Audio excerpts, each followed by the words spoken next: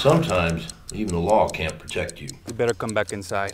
If he starts firing, we are all dead. Who is this man? His name is Doc Holliday. What brings you up here? A man was murdered in Tombstone a few nights ago.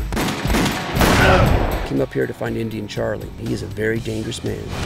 Doc is not a lawman. He may have a badge, but he does not follow it. I've killed many men for many reasons. All were valid. From your point of view, You have to judge each situation as it comes. I know Indian Charlie's in that cabinet. I'm gonna give you five minutes. I'm gonna come in there and I'm gonna get him. When a U.S. Marshal does not obey the law, there is a serious problem. Plan on shooting someone? I never plan on it. the law's not handling anything. Holliday's gonna kill him. Revenge is a luxury a judge cannot afford. Something's wrong here. I can feel it in my bones. Shoot me now, Doc! I never met a man so impatient to die.